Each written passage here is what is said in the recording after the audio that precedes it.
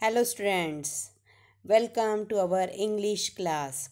Today we are going to see that is his first flight part 2. We have already seen that is the first part of the lesson. That is a page number 31 and 32's some little bit part. Let's see the next part that is a part 2 of the his first flight. आत्तापर्यंत आपण काय पाहिलं? ज्यावेळेस त्या young सिगलचे जे आई वडील असतात त्या ठिकाणी अगदी अपोजिट साईडला तिथे झोपेची डुलकी घेत असतात तिथे ते बसलेले असतात फेऱ्या मारत असतात आणि त्याच वेळेला त्याची आई एक पायामध्ये जे काही माशाचा तुकडा असतो तो आपल्या चोचीने ती फाडत असते आणि हे पाहून त्या यंग सिगलला अजूनच अजूनच भूक लागायला सुरुवात होते सी द नेक्स्ट वन गा गा गा he cried begging her to bring him some food Gowl call aha she screamed back derisively but he kept calling plaintively and after a minute or so he uttered a joyful scream his mother had picked up a piece of the fish and was flying across to him with it बघा. When that particular young seagull just only saw that uh, that particular fish and he was most hungry आणि त्याने जे त्यावेळेस आईच्या चोचीमध्ये जो काय माशाचा तुकडा पाहिला आणि त्याला जास्त भूक लागली आणि मग तो कशा पद्धतीने आईकडे बोलायला लागला कसं विनवणी करायला लागला बघा. गा गा गा. आता ह्या पक्ष्यांची भाषेमध्ये गा गा गा means that please give me give me मला दे आई. आणि त्याच्यानंतर तिने त्या कशा पद्धतीने त्याला ती ओरडत होती बघा. या ठिकाणी आवाज दिलेला गाव कोल अह. Means that she screamed back derisively म्हणजे डिरायझिवली म्हणजे काय? आपण एक एक आपण म्हणतो ना उपहासाने बोलणे derisively but he kept calling plaintively and after a minute or so he अटड a joyful scream but he but he kept calling plaintively अंग अगदी त्याला म्हणजे तो परत परत प्लेंटिवली म्हणजे वि तिला विनवत होता की दे मला मला पाहिजे नाही ते. And after a minute or so he अटड a joyful scream and his mother had picked up a piece of fish and was flying across to him with it आणि ज्यावेळेस अगदी तो तिला परत परत विनवत होता की मला दे मला भूक लागली आणि अगदी मिनटाभरामध्ये काय झालं तो त्याला खूप आनंद झाला. अटड अ जॉयफुल स्क्रीम कारण त्यांनी पाहिलं की आपली आई his mother had pick up a piece of fish आणि आईने आपला जो काही माशाचा तुकडा आपल्या चोचीमध्ये घेतला आहे आणि ती उडत आपल्याकडेच येत आहे आणि म्हणून ही जस्ट ओनली अटड अ जॉयफुल स्क्रीम आणि त्यांनी पटकन तो आणि एक जोरात तो ओरडला चित्कार केला. त्यांनी ओरडायला लागला की आपली आई माशाचा तुकडा घेऊन आपल्याजवळ येत आहे येत जवळ येत आहे आपल्याला भूक लागलेली आहे आणि तिला ते जाणवलं आणि म्हणून त्याला खूप आनंद झाला. See the next he leant he leaned out eagerly tapping the rock with his feet trying to get nearer to her as she flew across he just only ती जशी जवळ यायला लागली. ही लेंड आउट इगरली त्याला एक खूप आतुरता वाग एक खूप आतुर झाला होता तो. ही लेंड जरासा तो पुढे ढक पुढे झुकला. जेणेकरून तिला वाटलं आई आपली पटकन जवळून उडत उडत येणार आणि आपल्या तोंडामध्ये चोचीमध्ये काय देणार? तो माशाचा तुकडा देणार. पण असं झालं का? नाही झालं बघा.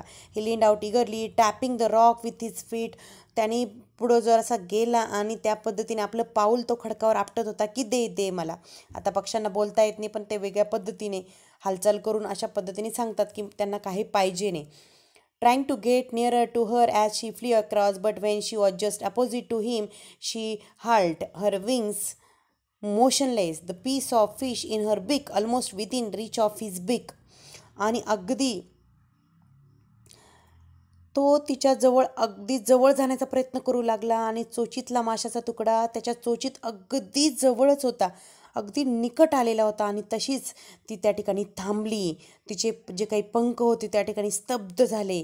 अगदी motionless that particular we can say that wings her wings motionless the piece of the fish in her beak almost within the reach of fish अगदी त्याच्या चोचीमध्ये तो येणार. पण त्याला जाणवलं की अजून ती जवळ का नाही येते? बघा see the next he waited moment in surprise wondering why she did not come nearer and then maddened by hunger का जवळ येत नाही ती? मला तर खूप भूक लागली एक दिवसापासून. त्याला असं जाणवलं त्याला खूप भूक भूक लागलेली होती. त्याला अजिबात सहन होत नव्हतं. आता तुम्ही विचार करा भूक लागल्यानंतर आपल्याला सुद्धा एखाद्या वेळेस एक दिवस कोणी जेवण एक अन्न नाही दिलं जेवण नाही दिलं तर आपल्याला कसं होणार आहे? तसं या पक्षाचं झालं होतं आणि त्याला असं जाणवलं की एवढं मी मागतो ही माझी आपल्या जवळ का नाही येते? आणि तो थोड्या वेळ सुद्धा थांबला नाही आणि त्यांनी काय केलं बघा.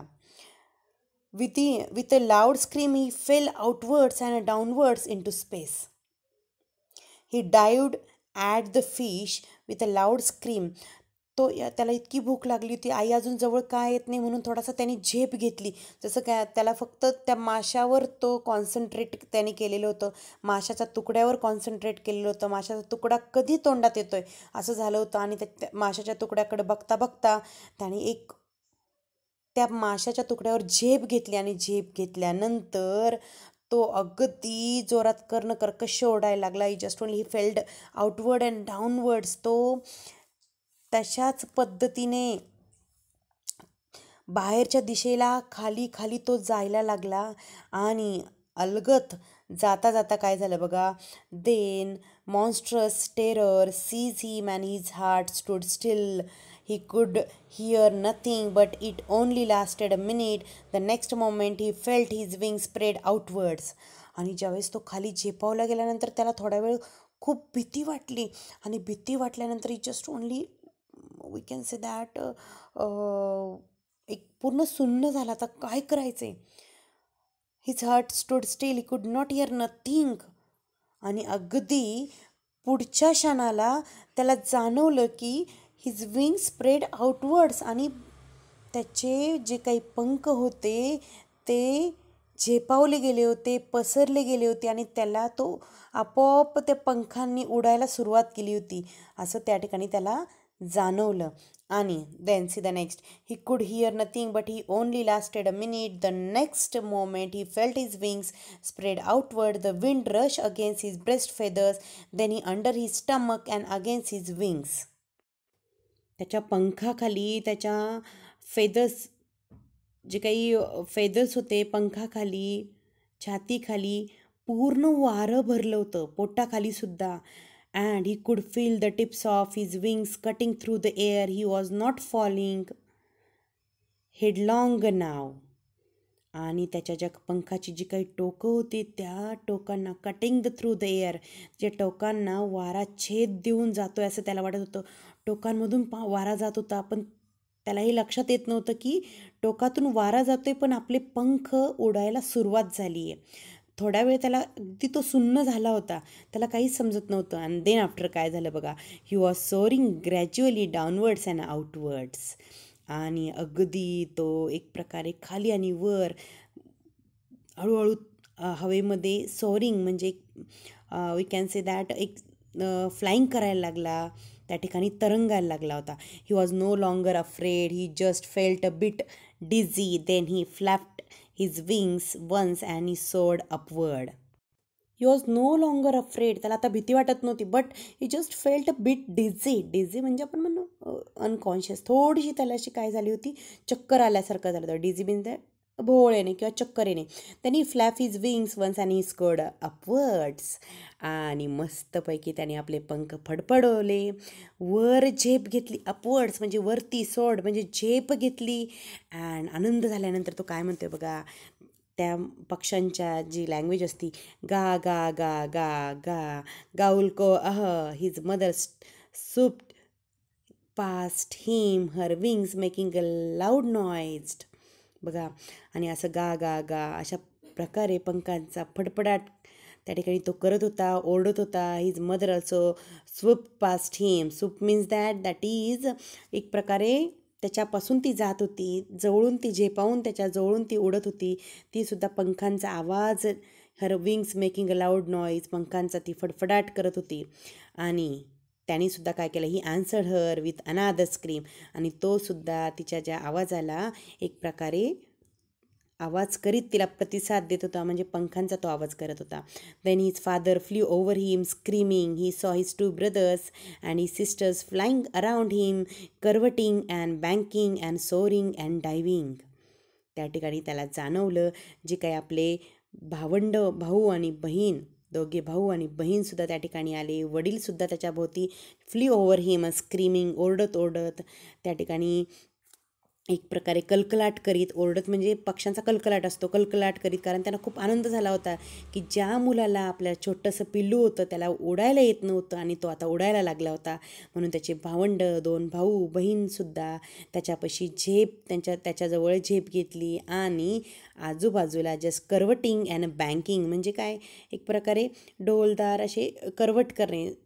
आपण म्हणतो ना आजूबाजूनी गिरट्या घालणे किंवा सुरकंड्या मारणे आजूबाजूला बँकिंग आजूबाजूला फिरणे सोरिंग अँड डायविंग या पद्धतीने त्या ठिकाणी ते छान पद्धतीने सर्वजण त्याच्या आजूबाजूला त्याला एक प्रकारे शाबासकी देण्यासाठी उडायला सुरुवात झाली then he completely forgot that he had not always been able to fly and commended himself to dive and soar and curve, shrieking shrilly.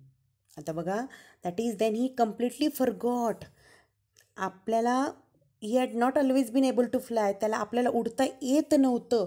हेच तो विसरून गेला आणि मस्तपैकी छान पद्धतीने त्या ठिकाणी तो डायू करायला लागला पाण्यामध्ये एक डुबकी घ्यायला लागला सॉरिंग करायला लागला भरारी घ्यावं लागला then curving and shrieking shrilly आणि एक पद्धतीने तो कर्कश आवाजामध्ये आरोळी एकमेकांना स्वतःवर तो खुश झाला होता. कमेंडेड हिमसेल म्हणजे स्वतःवर तो खुश झाला होता आणि त्या पद्धतीने त्या ठिकाणी कर्कश आवाजात आरोळी देऊ लागला. Then he was near to the sea now flying straight over is over it facing straight out over the ocean he saw a vast green sea beneath him with little ridges moving over it and he turn his beak sideways and cawed amusedly आता बघा he was near to the sea now आता तो समुद्राच्या अगदी जवळ होता. Flying straight he just समुद्राच्या पृष्ठभागावरून facing the over of facing straight out over the ocean म्हणजे त्या पूर्ण समुद्राच्या पृष्ठभागावरून समांतर अशा समांतर तसं असं उडत होता. वरच्या दिशेला फ्लाईंग स्ट्रेट ओव्हर वरच्या दिशेला तो जात होता. झेप घेतली होती त्याने आणि त्यांनी पाहिलं is a vast green sea त्यांनी हे पाहिलं की खाली पसरलेला एक हिरवाशार असा विशाल काय आहे?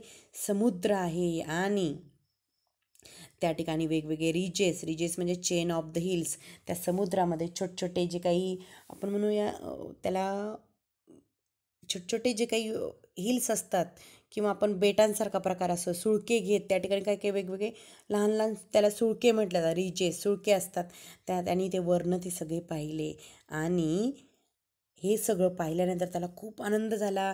He turn is big sideways and cawed amusedly amusedly mean means that pleasurably म्हणजे अगदी आनंदाने तो काय करायला लागला त्या ठिकाणी चित्कार करायला लागला ओरडायला लागला.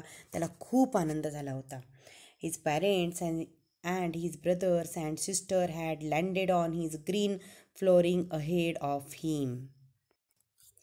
His parents and his brothers and sister त्याचे जे काही आईवडील होते आणि भावंडे होती त्या सुंदर अशा हिरव्यागार फ्लोरिंगवर ते जे काही हिल्स होते जे काही बेटासारखा प्रकार सुळके जे काही होते त्या बेटांवर ते सर्वजण त्या ठिकाणी ते जाऊन बसली आणि एक प्रकारे बेकनिंग टू हिम आणि त्याला एक प्रकारे बोलत होती.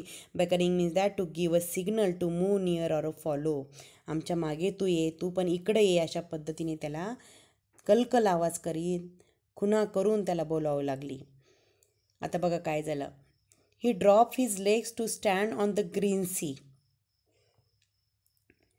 त्यांनी काय केलं? आपले पाय अलगत त्या हिरव्यागार समुद्रावर सोडून तो उभा राहायचा प्रयत्न करू लागला. He drop his legs to stand over the green sea his legs sank into it he screamed with fright and attempted to rise again flapping his wings but he was tired and weak with hunger and he could not rise पण तो त्या ठिकाणी प्रयत्न करायला लागला. त्या पाण्यावर ज्यावेळेस तो तिथनं जात होता समुद्रावर सोडून त्या ठिकाणी जा उभा राहण्याचा प्रयत्न करू लागला आणि त्या पाण्यामध्ये त्याचे पाय बुडायला लागले आणि तो अगदी थोडासा तो जरासा घाबरला. स्क्रीम विथ फ्राईट थोडासा स्क्रीम म्हणजे तो किंचाळी त्याने मारली. कारण त्याचे पाय पाण्यात बुडाले. त्याला असं वाटलं की आता आपण पाण्यात बुडतो काय? आणि पुन्हा attempted to rise again flapping his wing आणि पुन्हा तो वर उडाला. Then but he he was tired and a weak with hunger बरोबर? त्याला भूक लागलेली होती. वीक अगदी तो कमकुवत थोडासा दमला होता. भुकेने अशक्त झाला होता. खूप दमला पण होता. आणि एक दिवसापासून त्यांनी काही खाल्लेलं नव्हतं. पण he could not rise exhausted by the strange exercise exhausted means wear out म्हणजे अगदी तो या पूर्ण जो काही त्यांनी हे सगळं एक्सरसाइज केल एक्झरसाइज केलेला होता व्यायाम केलेला होता एवढ्या पद्धतीने गिरट्या घातलेल्या होत्या. त्याच्यामुळे तो एक्झॉस्टेड अगदी थकून गेला होता. His feet sank into the green sea and then he is belly touch it and he sank no further बघा. अँड त्यांनी काय केलं? त्या हिरव्यागार समुद्रात तो थोडासा शिरला. त्याने त्याचे पोट हलकेच त्याचे पाण्याला टेकले आणि मग तो आणखी खाली बुडाला. नाही त्याला आधी वाटलं होतं आपण खाली बुडणार पण नंतर पुन्हा ज्यावेळेस त्यांनी त्या समुद्राहून भरारी घेतली आणि त्या भरारी घेतल्यानंतर त्याचं पोट त्या पाण्याला चिकटलं आणि त्याला असं वाटलं की आता आपण बुडणार नाही. आणि मग तो छानपैकी त्या त्या ठिकाणी काय करायला लागला? तरंगायला लागला. And he was floating on it and around him around him his family was screaming praising him and their beaks were offering him scraps of dogfish he had made his first flight आणि अशा पद्धतीने तो त्या ठिकाणी तर त्या पाण्यावर मस्तपैकी फ्लोटिंग तरंगू लागला. आणि त्याचे जे काही पॅरेंट्स होते जे हिज फॅमिली वॉज क्रीमिंग त्याचे जे काही पॅरेंट्स कुटुंबसुद्धा त्याच्या भोवती आले अराउंड येऊन त्याच्या अवतीभोवती गिरट्या मारायला लागले. कलकल असा आवाज स्क्रीमिंग म्हणजे कलकल असा आवाज करायला लागले. प्रेझिंग हिम त्याचं कौतुक करू लागले. आणि एक प्रकारे जे काही डॉगफिश आहे जे काही माशाचे जे काही तुकडे असतात एकमेकालाच एकमेकाला चोचीतून एकमेकांना ते भरवायला लागले. Their beaks were offering him scraps of dogfish scraps of dogfish म्हणजे डॉगफिशचे तुकडे एकमेकाला ते भरवायला त्यांनी सुरुवात केली उडता उडता. आणि अशा पद्धतीने he had made his the young seagull had made his first flight आणि अशा पद्धतीने यंग सिगलने आपली पहिली भरारी घेतली. असा हा जो यंग सिगल आहे समुद्र पक्षी त्याचा हा लेसन होता. मला वाटतं हा लेसन तुम्हाला नक्कीच कळाला असेल. कशा पद्धतीने त्यांनी प्रयत्न केला आणि जेव्हा आपण कोणतीही गोष्ट स्वतःहून करत नाही तोपर्यंत ती पूर्ण होत नसते. म्हणून नेहमी स्वतःहून काही गोष्टी करायच्या जेणेकरून त्या आपल्या आयुष्यामध्ये आपल्याला पुढं नेतात.